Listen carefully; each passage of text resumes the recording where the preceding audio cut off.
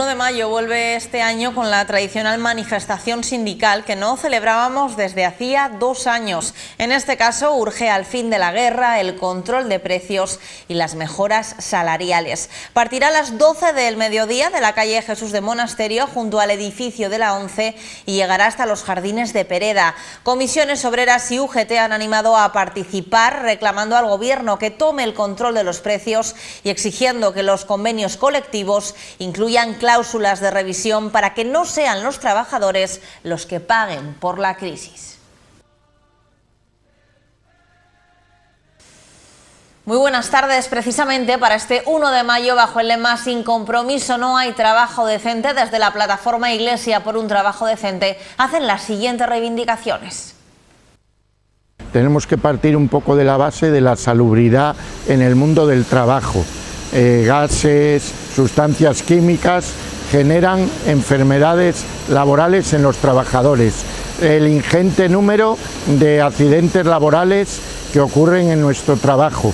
Eh, las, situaciones laborales de la mujer, jóvenes precarios, subcontratados, eh, el tema también de los derechos laborales y administrativos en regularización administrativa del tema de los inmigrantes.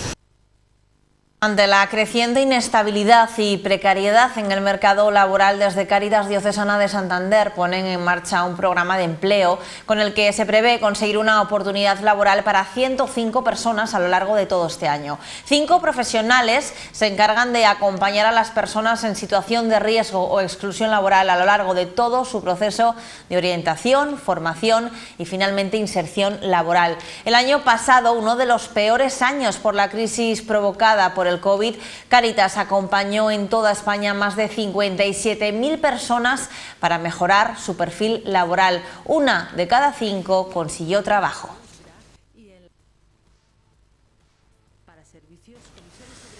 Miguel Ángel Revilla ha vuelto a reivindicar una financiación autonómica basada en el coste de los servicios. Así lo ha asegurado en Madrid, donde ha participado en un evento del Club Siglo XXI. Con una mínima parte de la población de Madrid, el transporte escolar es mucho más caro. Diariamente 100.000 euros de coste de transporte escolar. Apunta, ¿eh? 100.000 euros. Madrid 70.000. ¿Por qué? Porque nosotros en Valderredible tenemos en 260 kilómetros cuadrados 40 núcleos de población de 2, 3 y 20 niños. Cinco personas han fallecido por COVID-19 este jueves, por lo que ascienden a un total de 13 en la última semana. Hay 193 nuevos casos, 30 menos que el miércoles. La incidencia a 14 días entre las personas más mayores, ya saben, mayores de 60, subió a 1.144 casos por cada 100.000 habitantes, que son 62 más que el miércoles. Y a los 7 días creció hasta los 687, que son 30 más. Se superan ya los 60 hospitalizados, de los que cuatro están en la unidad de cuidados intensivos.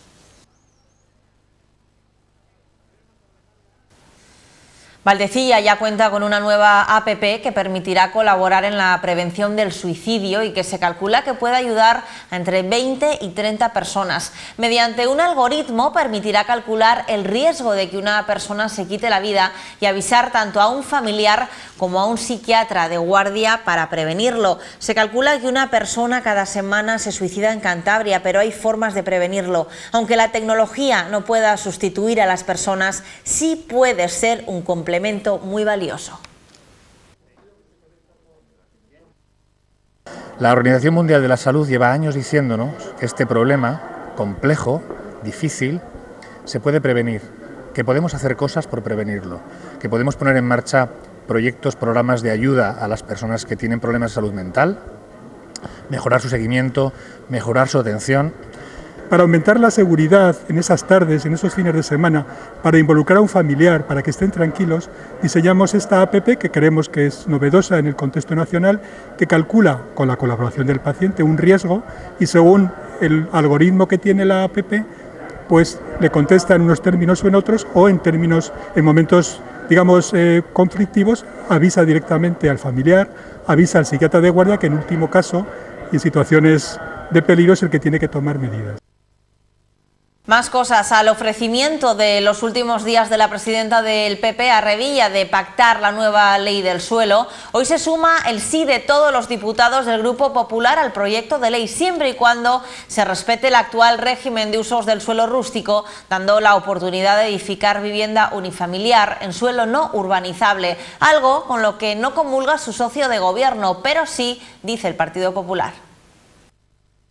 Quiero trasladarle que para defender la vivienda unifamiliar en suelo rústico tiene los votos del Partido Popular, que no necesita su socio, que no necesita plegarse a su socio, porque para mantener el régimen de la vivienda unifamiliar más facilitador que ha habido nunca en Cantabria, para mantener el régimen de la vivienda unifamiliar más equilibrado que ha habido nunca en Cantabria, cuenta con el Partido Popular.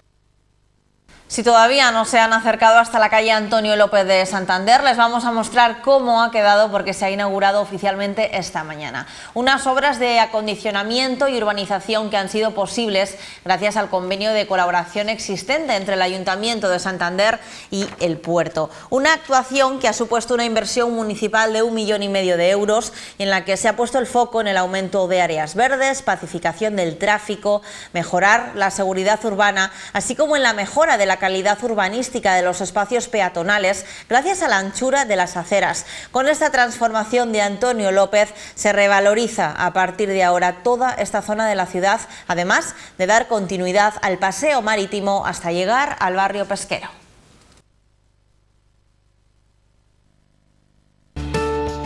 Espacio patrocinado por Vicepresidencia del Gobierno de Cantabria, Consejería de Universidades, Igualdad, Cultura y Deporte.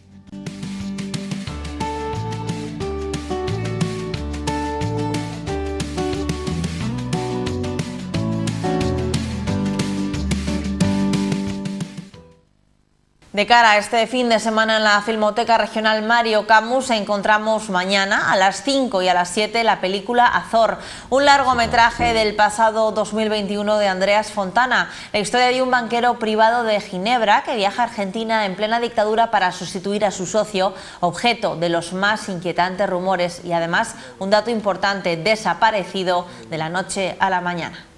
Es distinto que la banca comercial. Es como comparar un avión de línea con un jet privado.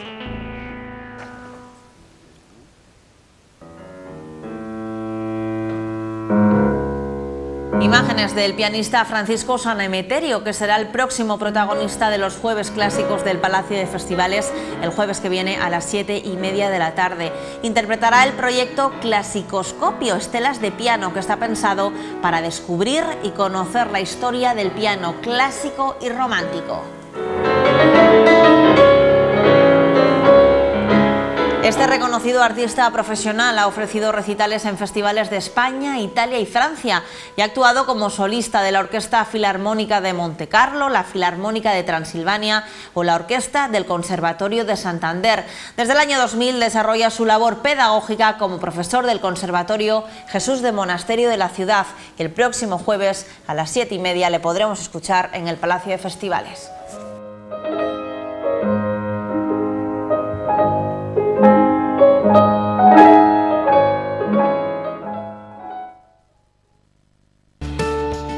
Espacio patrocinado por Vicepresidencia del Gobierno de Cantabria, Consejería de Universidades, Igualdad, Cultura y Deporte.